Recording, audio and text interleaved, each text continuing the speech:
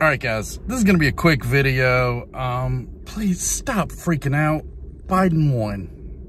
It's obvious Biden won. It's been obvious that Biden won since election night after the very first results started rolling in. If you've ever taken a statistics class and can do even basic probability models, then it's been clear for days. The networks aren't announcing it because one, it's good for ratings, and they know how good this crap is for driving viewers. And also they're trying to be, you know, as cautious as possible, but it's over. It's been over.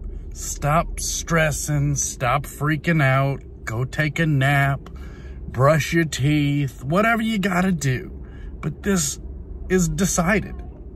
Our next president is Joe Biden. I mean, all the court fights and all that, it doesn't matter. None of it's going to affect the outcome of the results because the votes are the votes. He is going to win Pennsylvania. Biden, that is. Uh, he's going to win Nevada. He's probably going to win Arizona. He might win Georgia. He's not going to win North Carolina. He's not going to, you know, but it doesn't matter. Do the math. He has at least enough electoral votes already that it's over. So just relax. People are getting so stressed out. They're so upset. They're so worried about what's going to happen, but I'm telling you, it's over. Take a breath.